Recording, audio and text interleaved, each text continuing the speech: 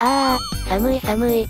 今日は一段と寒いよなー。まさかまさかよ、こんなに北風ぎゅうぎゅう吹くなんて思わなかったぜ。確かに今月は信じられないくらい寒くなった。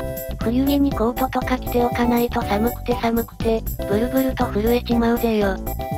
それにしてもさすがはクリスマスだな。街中、まるでお祭りムードだこと。こんだけ明るくて、楽しげなのもいつぶりだろうか。しばらくぶりに見てない気がするぜ。むしろ今までそういうのが沈黙していたからな。久しくこんなに盛り上がれそうなイベントが来てくれて嬉しい限りだぜ。クリスマスということでクリスマスらしいことはもちろん、綺麗なイルミネーションを見たり、パーティーをしたりして街中ではクリスマスを楽しんでいる人が多いってわけだ。こういう日は何をして過ごすのかもはそれぞれの自由かもしれんが、クリスマスなんだし、クリスマスらしいことをして過ごしたいよな。私もそう思うぜ。特に私はパーティーがしてえなうまいもんたらふく食べて、聖なる夜を過ごす。そして、思い出に残るようなイベントにもしておきたい。実を言うとな、私は毎年来るクリスマスにそれといった思い出というか、そんなものを強く残してないんだ。一度もやってないとかじゃなくて、全然残らなくて。だから、ボランティア活動でボランボランしている間にふと思いついたことなんだよな。町内では常にクリスマスのことしかないってわけだ。それ以外に何があるってんだ。私としてはなんだかんだクリスマスに記憶に残るくらい最高のことをしたくて、たまらないってのがあるんだな。だったら、それをしようじゃないか。私自身がそう思っているってことだろう。そうしてやろう。日に大変ねでもマリサの日々の苦労を思い知ったわよ。動画外でこんなにも苦労していたんだね。というか寒すぎて、体がコチコチに固まりそうなんだけど。お、小石。お疲れ様だぜ。な。いい経験になっただろう。私の苦労とやらを知ればいいのだ。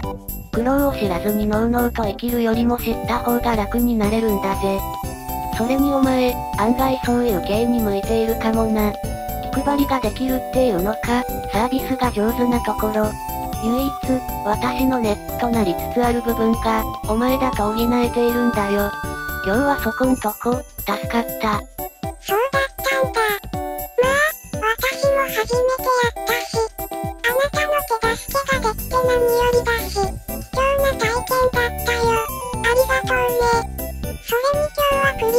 じゃない。一日、労働して、眠ってしまうのはもったいないわ。おう。ってことはこの後どうするんだい？そこは考えてなかった。今から考えるつもりでいるよ。クリスマスなんだし、らしいことをしなくちゃね。せやな。私も小石と同じことを思っていたぜ。私はな、心に残るくらいの思い出にしたいんだぜ。それができれば満足なんだ。だから今日はいつもの私とは少し違う。そんな設定も入れつつ、やっていきたいぜ。ふふ、マリサったら、普段からはそういうこと言わないのに。変わってるね。別にいいだろう。私の勝手な気まぐれだ。それじゃあ、クリスマスらしいことをしようじゃないの。私もね、クリスマスらしいことができたらそれでいいかななんて思ってた。毎年、この時期になると慌ただしくなるのはもちろんだし、中にはクリスマスを雰囲気だけで終わらせる人もいるんだ。人によってはその日によるスケジュールも異なるし、必ずしもイベントに乗っかれる感じではないんだよね。だから、こうしてイベントに参加できる分、無駄にしないようにしておきたいってわけだよ。さあ、マリサ。早速しようじゃないの。ああ。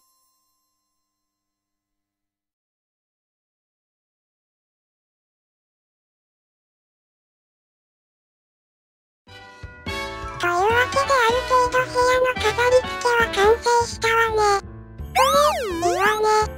まさにそれらしい装飾になったわけだし、パーティー会場のような雰囲気を持つようなものだわ。らしくもなってきたし、それにこのクリスマスツリーも味があるわね。もう少し盛大にしておきたかったけど、今の予算ではなんとかできん。でもこれだけ飾り付けができればもう十分だと思うぜ。それに見てみろ。こんなに綺麗に仕上がるなんて、組み立てる前は想像もつかなかった。クオリティも段違いだし、まさかこれだけのセットでできるとは手頃だよな。ふふ、マリサの言う通りだね。このクリスマスツリーなんか、普通のクリスマスツリーには見えないような特別な何かに見えてしまうわ。それにこのオーナメントもキラキラ光ってるじゃん。部屋がより一層綺麗になっちまったなしかし、楽しい時間って、あっという間だよな。飾り付けをしていた時は楽しかったが、こうして終わると、なんだか。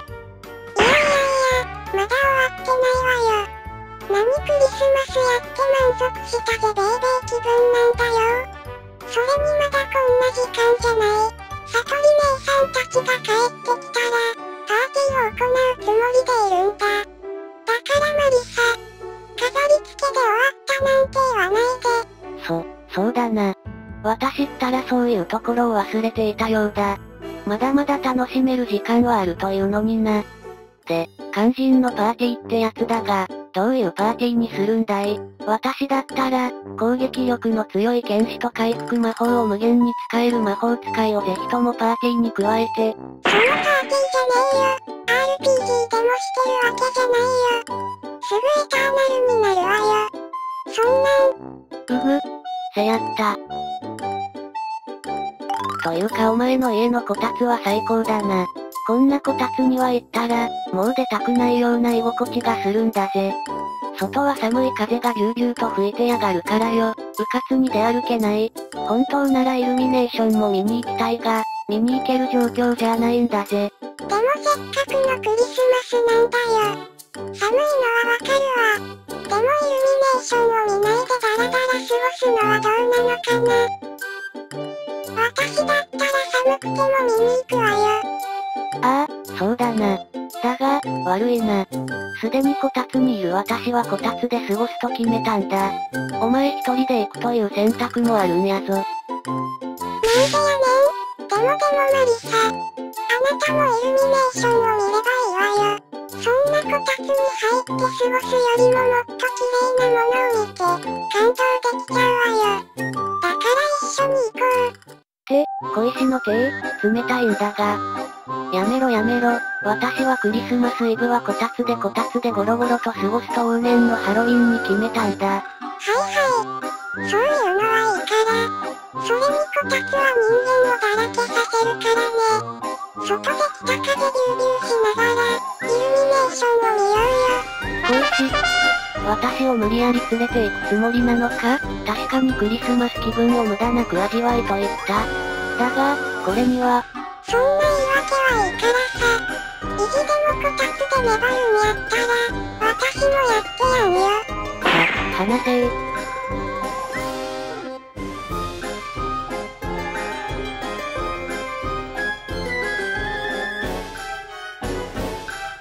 おわー、無理無理無理。寒い寒い、寒すぎるー。ふざけんな、想像以上に寒すぎるだろうこれは。恋しいよ、こんなんじゃ風邪をひいちまうぜ。風邪をひいちまったら、せっかくのパーティーにも参加できなくなっちまうぜ。だらしないわね確かに寒いのは寒い。だけどこの寒さを乗り越えるのもクリスマスの一つなんだ。それに市街地に行けば人も多いし、次第にぬくぬくになるよ。市街地にあるお店の中なんて暖かいんだし。それもそうか。わかったぜ。付き合ってやるよ。ふふ、家でゴロゴロしていちゃせっかくのクリスマスムードが台無しだからね。姉さんたちが戻ってくる前にこうやって街に繰り出して、クリスマスを堪能しようじゃないの。ほら、見てみなさい。あちこちに綺麗なクリスマスの装飾が飾られている。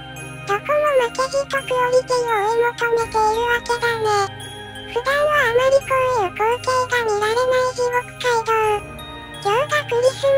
からこそ、気合も違うのよね。わわ。ちょっと待って、すごい人だ。こんなに人だかりができるなんて。さすがはクリスマスだな。なんだよこの行列は。何か大きな大きなイベントでもあるのか確かに。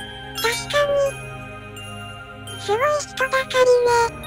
まるで有名人が来たかのよう。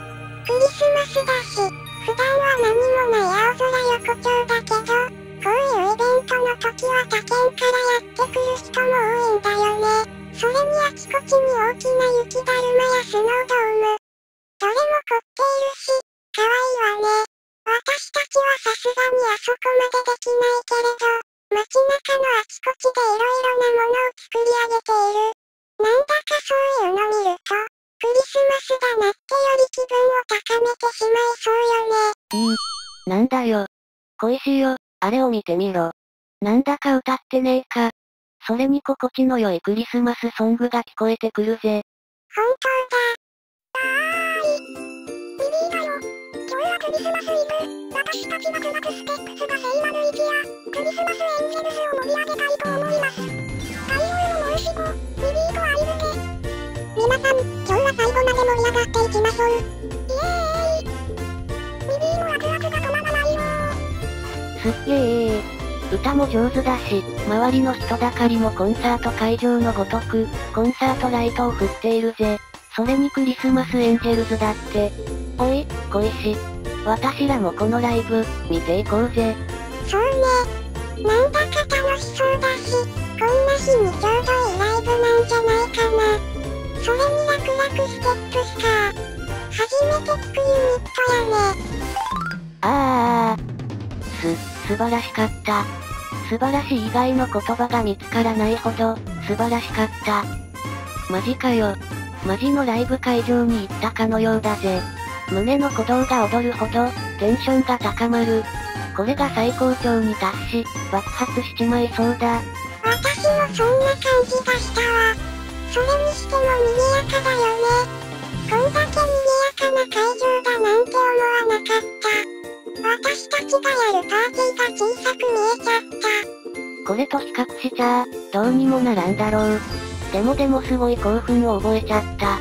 おい、この勢いを止めたくねえ。小石よ。なんとかしろ。え、な、なんとかしろって。そんなのなんとかできないわ。でも、楽しんだら勝ちなんだし、もっと楽しんだ方がいいかも。だよな。そこで私に一つ提案があるんだよ。提案私がサンタさんになって街中の子供たちにクリスマスプレゼントを渡すぜ。私がよ、子供たちにこれ以上ないハッピーとやらをお届けしてやるぜ。光よりも早くな。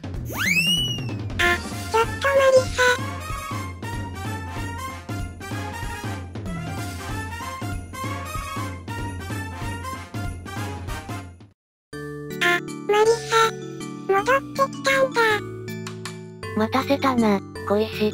無事にプレゼントは全部渡してきたぜ。子供たちにはまだ見せてないが、親御さんには大変感謝されちまったよ。私も青空横丁では子供たちにもお世話になっとるんだ。だから今日という今日はそれがしたかった。そうだったんだ。マリサったら、いいことするじゃない。子供たちもきっと喜んでくれるよ。マリサのとびっきりなサプライズというかプレゼントなんて、心から嬉しいと思うわ。ふふ、そうであってほしいな。でも小石、そろそろ暗くなってきたな。イルミネーションも最高だっただし、ライブも良かった。でも、安心して。まだあるわよ。私たちの家でパーティーがあるじゃん。サトリ姉さんも帰ってきたことだし。最後はお家でクリパでもしようじゃないの。小石。そうだよな。ありがとう。いいって。今日はクリスマスなんだから。最初から最後までが特別なんだもんね。それじゃあ、マリサ。準備はいいかしら。今からクリスマスのパーティーを始めるとするよ。それと同時になっちゃうんだけど、ちょっとした忘年会も入れているんだ。それにね、姉さんもいつも以上に料理に腕をかけて作ったそうなんだ。おお、すごい。なんだよ。まるでホテルのパーティー会場になってるじゃないか。しかも美味しそうな料理たち。今年はクリスマス、できてよかったね。てっきり、私は今年もできないんじゃないかって、不安なところが正直あったんだよ。そうか。でもできてるじゃないか。できた後に思い返しても、やった後の後悔なんてねえよ。それにそれも私も同じだぞ。私も今年はあるんだろうかと内心、気にしていたしな。マリサもだったのね。それは嬉しいことだわ。さあさあ、小石。楽しもうじゃないか、クリスマスパーティーを。えー、メリークリスマス。みんなも良いクリスマスをみんなも良いクリ。スマスを。